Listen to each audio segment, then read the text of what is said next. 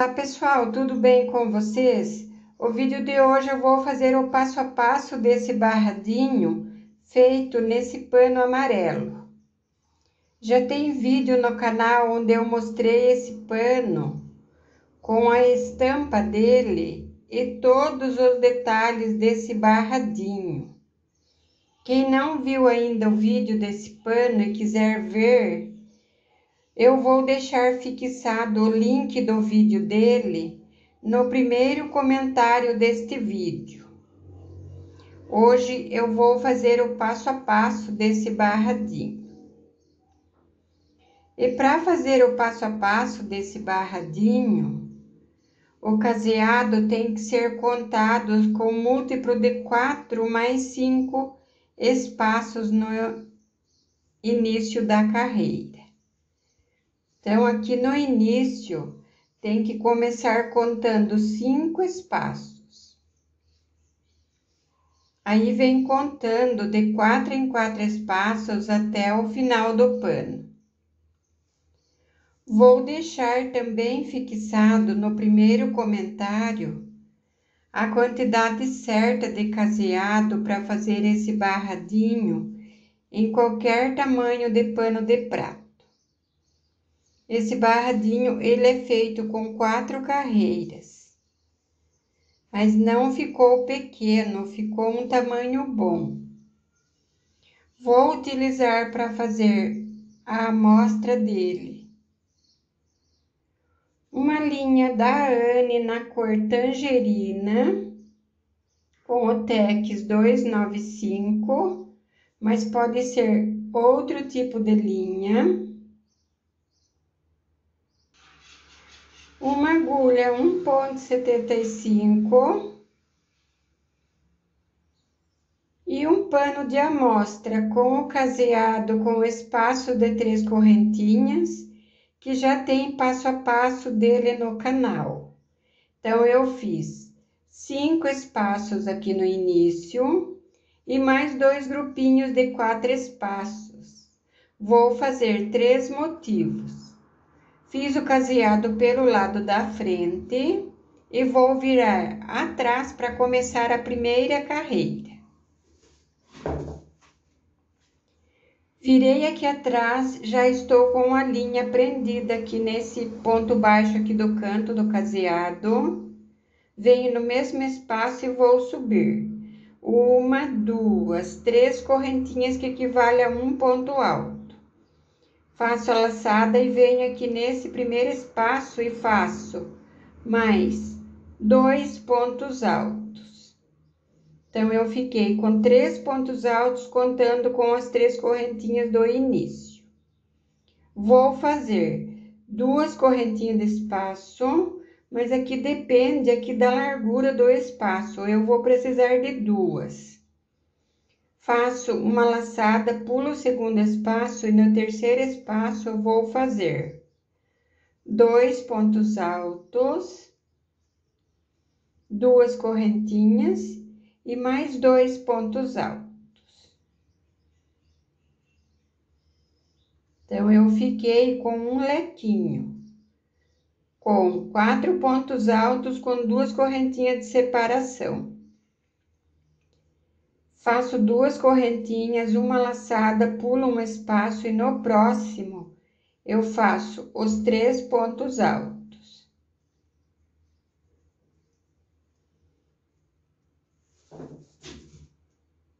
Duas correntinhas, pulo o espaço e no próximo eu vou fazer o leque.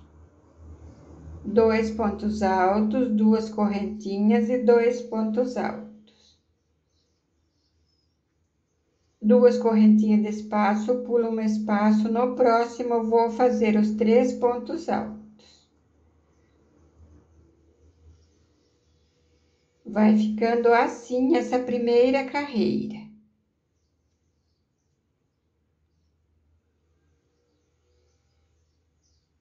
Já estou chegando aqui no final da carreira, fiz o leque, faço duas correntinhas e nesse último espaço, eu vou fazer os três pontos altos. Vou fazer dois pontos altos dentro do espaço.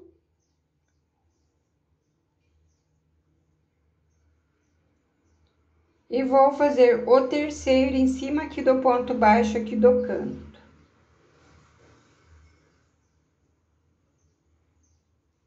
Ficando assim essa primeira carreira. Aqui atrás. Vou virar na frente para fazer a segunda carreira. Já virei aqui na frente, subo três correntinhas em cima do primeiro ponto alto, que equivale a um ponto alto. Cima do segundo ponto alto, faço um ponto alto. E em cima do terceiro, eu faço um ponto alto. Faço duas correntinhas e aqui no leque eu vou fazer o leque. Dois pontos altos. Duas correntinhas e dois pontos altos. Então, a primeira, a segunda e a terceira carreira são iguais. É só repetir. Fiz o leque, faço duas correntinhas e faço os três pontos altos.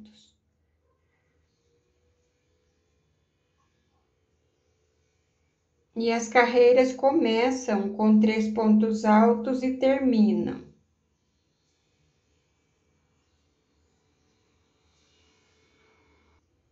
Então, cheguei aqui no final da carreira, fiz o leque, fiz ponto alto sobre ponto alto nos três pontos altos, ficando assim a segunda carreira, aqui na frente.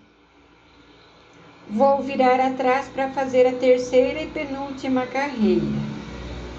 Virei aqui atrás, subo três correntinhas em cima do primeiro ponto alto. No segundo ponto alto, faço um ponto alto. E no leque, faço duas correntinhas de espaço e no leque vou fazer o leque. Então, essa terceira é a repetição da primeira e da segunda carreira.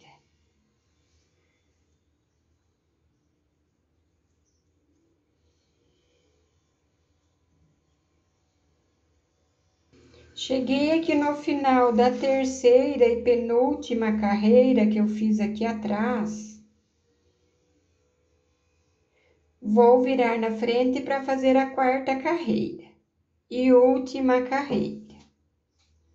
Subo três correntinhas em cima do primeiro ponto alto, no segundo ponto alto, um ponto alto, no terceiro ponto alto, um ponto alto. Duas correntinhas de espaço Aliás, não vou fazer duas correntinhas agora. Nessa quarta carreira não tem correntinha de espaço. Eu vou fazer duas laçadas e vou trabalhar com pontos altos duplos aqui dentro do leque.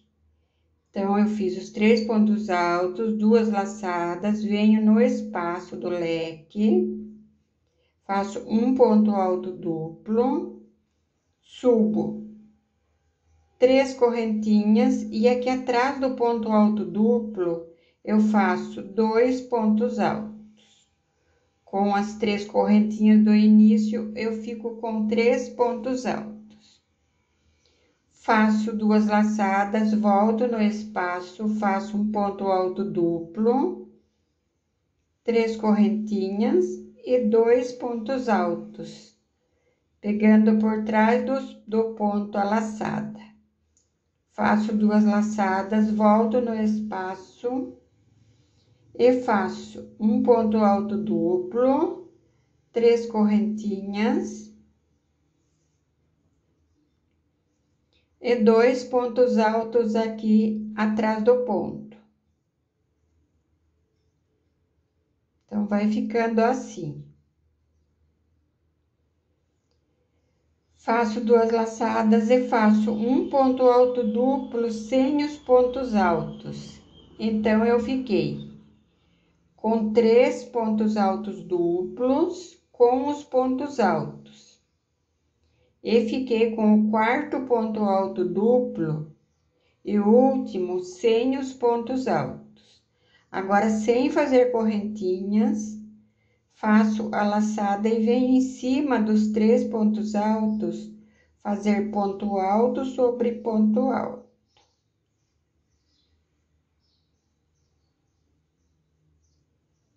Ficando assim esse primeiro motivo. Ele não fica pequeno, fica um tamanho bom na altura. E é bem econômico também esse barradinho. Então, eu fiz os três pontos altos, agora não faço correntinhas, duas laçadas e vou repetir aqui dentro desse leque. Três pontos altos duplos com os pontos altos Fiz o ponto alto duplo, três correntinhas, dois pontos altos atrás do ponto.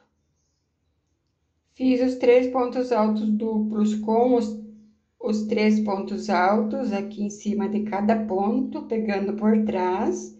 Já faço o quarto ponto alto duplo, sem os pontos altos, sem fazer correntinha, uma laçada e os três pontos altos ponto alto sobre ponto alto.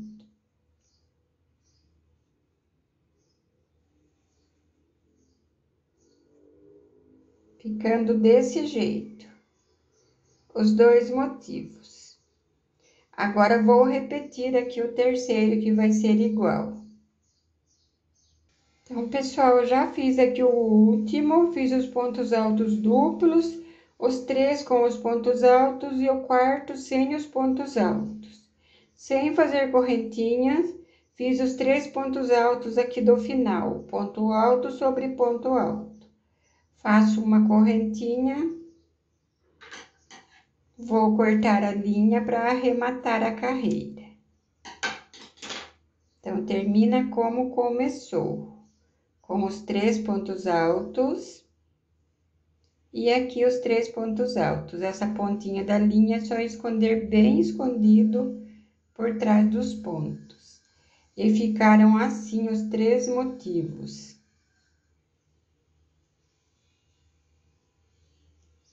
Se vocês gostaram do vídeo, deixe joinha e até o próximo vídeo.